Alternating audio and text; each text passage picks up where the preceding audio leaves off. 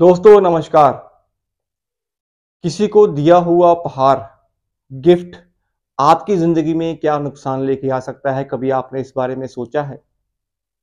दोस्तों, गिफ्ट किसी को देना नुकसानदेह नहीं करता। बट समटाइम हम कुछ ऐसी चीज़ें उपहार के रूप में किसी अपनों को जो है वो दे देते हैं, जिसके बाद उसका इफ़ेक्ट जो होता है वो हमारी ज़िंदगी में काफ़ी बुरा आता है।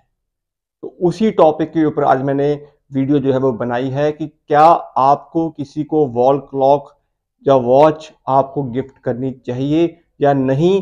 क्या वो आपको गिफ्ट के रूप में लेनी चाहिए या नहीं? एस्ट्रो गाइड मलिक में आप सभी का स्वागत। दोस्तों, घड़ी का गिफ्ट के रूप में देना आपकी ज़िंदगी में, आपकी जो रफ्तार है ज़िंदगी की, उसको कहीं ना कहीं रोक सकता है। दोस्तों, कुछ चीज़ें ऐसी होती हैं जिसको हमें गिफ्ट के स्वरूप जो है वो नहीं देना चाहिए। बेसिकली हर ग्रह कुंडली में किसी ना किसी चीज़ का कारक होता है, ये आपको भी पता है। तो शुक्र जहाँ पे भोग विलास है, वहीं पे इतर डीओ, परफ्यूम्स, ये सब शुक्र के दिन चलते हैं। आज के इस दौर में परफ्यूम्स इतर या फिर हम घड़ी का जो चलन है, वो हम एक दूसरे को एक्सचेंज के रूप में देते हैं दोस्तों। लेकिन हमारी कुंडली में कुछ ग्रह ऐसे भी होते हैं कि जो वो अच्छी प्लेसमेंट्स पे बैठे होते हैं और उसका हमें दान जो है, वो नहीं करना चाहिए। दोस्तों, आपके घर में लगी हुई वॉल क्लॉक अगर गलत दिशा में लगी हुई है, वो भी आपकी ज़िंदगी में नुकसान नकारात्मक ऊर्जा नेगेटिविटी टेंशन का माहौल जो है वो आपके घर में बना सकती है। आपकी वॉल क्लॉक अगर कुंडली के अनुसार मैं बा, बात करूँ तो अगर वो दक्षिण मुखी दीवार के ऊपर आपकी जो वॉल क्लॉक है वो लगी हुई है तो यकीन मानिए कर्जा रिश्तों का खराब होना बीमारियाँ बैक पेन टेंशन ये सब चीज़ें आपकी ज़िंदगी में चल रही होंगी। घड़ी का डायल जो होता है, जिसे हम ऊपरी सतह बोलते हैं, वो कभी भी लाल रंग का आपको नहीं लेना चाहिए। ये भी चीज़ आपको ध्यान में रखनी है दोस्तों। अब बात करते हैं कि घड़ी को लगाना कहाँ पे है। दोस्तों, वास्तु के अनुसार और कुंडली के अनुसार घड़ी को लगाने की सही दिशा होती है नॉर्थ। आप नॉर्थ में लगाएँ अच्छा आपको असर मिलेगा। नॉर्थ ईस्ट में लगाएँ, आपको बेहतर जो उसके रिज़ल्ट है वो मिलेंगे। दोस्तों, घड़ी का बेसिक संबंध जो होता है, वो आपकी कुंडली में बैठे हुए बुद्ध से होता है। बुद्ध आपकी ज़िंदगी का दिमाग है, आपकी मान सम्मान है, आपकी तरक्की है, आपका बिज़नेस है, आपके रिश्तों में आपकी बहनें, बुआ, मासी है। और सबसे ज़रूरी चीज़, आपकी मेंटल हेल्थ है, आपकी चलाकी है। जब हम अपनी जन्म कुंडली की बात करें, कोई भी ग्रह जब आपकी कुंडली में नेक तबीयत का होता है, अच्छे असर देने वाला होता है, उच्च का होता है। तो कभी भी उस चीज़ का दान जो है, वो आपको नहीं करना चाहिए। दूसरी चीज़, जब कुंडली में ग्रह नीच का होता है, नीच अवस्था का बैठा होता है तो उसका दान हमें नहीं लेना चाहिए। बात बुद्ध की कर रहे हैं। घड़ी जो है, वो बुद्ध है दोस्तों।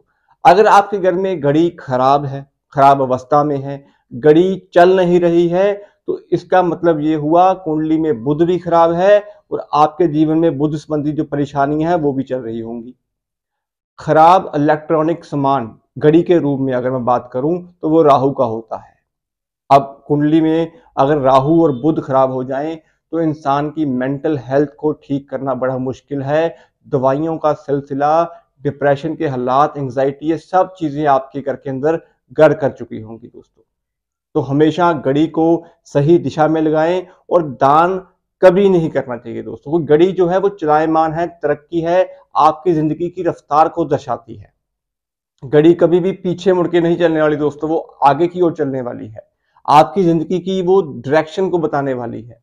तो इसीलिए घड़ी का दान जो होता है, वो आपको उपहार के रूप में कभी भी किसी को देना नहीं चाहिए, क्योंकि अगर आपकी कुंडली में बुद्ध देव खाना नंबर छह में बैठे हुए हैं, अच्छी अवस्था के बैठे हुए हैं, अच्छे भावों में बैठे हुए हैं, और आपने बुद्ध का दान जो है, वो घड़ी के स्वरूप दान कर दिया किसी को तो आपकी ज़िंदगी से वो बुद्ध की जितनी भी अच्छी चीज़ें होंगी, वो कहीं ना कहीं नेगेटिव असर देना शुरू कर देंगे। आपने अपनी पॉजिटिव ओरा को किसी दूसरे को ट्रांसफ़र जो है, वो कर दिया, जब आपने बुद्ध का दान जो है, कुंडली में बैठे हुए गड़ी के स्वरूप किया। तो गड़ी इतनी इंपॉर्टेंट चीज़ होती है, ये हमें तब पता चलेगा जब हमें ये आइडिया होगा कि हमारी कुंडली में बुद्ध देव बैठे कैसे हैं। उसी कंडीशन में अगर बुद्ध नीच के हैं, बारहवें भाव में नीच के होते हैं, बुद्ध अष्टम भाव में खराब फल देते हैं नाइन्थ हाउस में खराब फल देते हैं, ग्यारहवें भाव में भी कहीं ना कहीं खराब ही होते हैं तो इन कंडीशंस में बैठे हुए बुद्ध देव आपके खराब हैं। और आपने किसी से घड़ी का उपहार ले लिया, वॉच का उपहार ले लिया तो वो आपके जीवन में आपकी तरक्की, नेगेटिविटी को कहीं ना कहीं खराब करेगा, आपके घर के अंदर नकारात्मक ऊर्जा पैदा करेगा और सबसे ज़रूरी चीज़ जो ग्रह कुंडली में खराब है, उसकी चीज़ आपके घर में आएगी ही आएगी। और वो चलेगी भी नहीं, कुछ टाइम बाद वो खराब भी हो जाएगी दोस्तों। तो ये ग्रहों की विडंबना है, नेगेटिविटी को बढ़ाने वाली बातें होती हैं। दोस्तों, जब भी आप घड़ी मार्केट से परचेज करें तो सबसे पहली बात, उसका जो स्ट्रैप होता है, अगर आप हाथ में बाँध रहे हैं तो उसका स्ट्रैप कभी भी आपको लाल रंग का नहीं लेना। क्योंकि लाल रंग मंगल का है और घड़ी बुद्ध है। जब आपस में मिलते हैं तो ये मंगल बद बनाते हैं तो इस चीज़ का आपको ध्यान रखना बड़ा ज़रूरी है। घड़ी को हमेशा, दोस्तों, आपने गुलाई के स्वरूप लेना है? कभी चौरस नहीं लेना। यानी आकार जो होता है, वो चौरस डब्बे वाला वो आपको अवॉइड ही करना चाहिए। तीसरी कंडीशन दोस्तों घड़ी को हमेशा आप नॉर्थ नॉर्थ ईस्ट डायरेक्शन में लगाएँ। कभी भी आप पश्चिम, जब सॉरी दक्षिण की दीवार पे आपको घड़ी कभी भी नहीं लगानी है। और अपने घर में जितना आपके घर में इलेक्ट्रॉनिक आइटम स्पेशली मैं इलेक्ट्रॉनिक आइटम की बात कर रहा हूँ, वो घड़ी हो, कोई ट्रांजिस्टर हो, कोई कहीं ना कहीं कोई प्ले स्टेशन हो, कुछ भी ऐसी अवस्था का हो तो वो खराब नहीं होना चाहिए। जब तक आपके घर में इलेक्ट्रॉनिक आइटम्स खराब होंगी, इसका मतलब ये है कि आपकी कुंडली में राहु एक्टिवेट हो चुके हैं और बुद्ध के फल खराब हैं। दोस्तों, ये कुछ बेसिक मिथ्या थे घड़ी को उपहार के रूप में देना और लेने के बारे में। एक सिंपल सा नियम मैं आपको बता देता हूँ, कुंडली में जो ग्रह आपकी अच्छी अवस्था का होगा उसका दान आपको कभी नहीं करना और जो नेगेटिव अवस्था का होगा, उसका दान आपको नहीं लेना। ये बेसिक नियम है ज्योतिष का। दूसरी कंडीशन में, अब आपने घड़ी किसी से उपहार के रूप में ले ली, अब आपके दिमाग में चल रहा है कि क्या मुझे ये बांधनी चाहिए या नहीं? दोस्तों, इसमें बेसिक मिथ्य ये है कि अगर आप उनसे कुछ दक्षिणा स्वरूप ले लेते हैं, दक्षिणा दे देते हैं तो ये योग जो है, ये कट जाता है। लेकिन आगे फ्यूचर में आपको इन चीज़ों का ध्यान रखना चाहिए कि जो ग्रह आपका अच्छा है, उसका दान नहीं करना।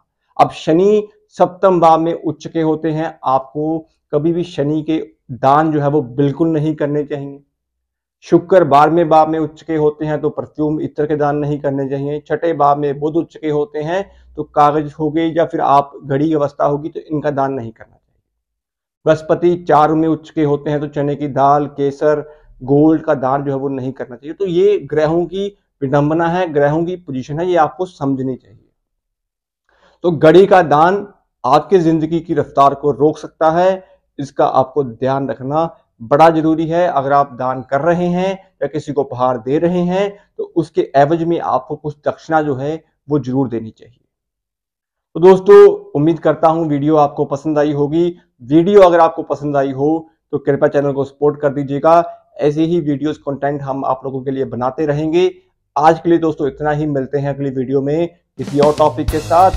शुभ रात्रि।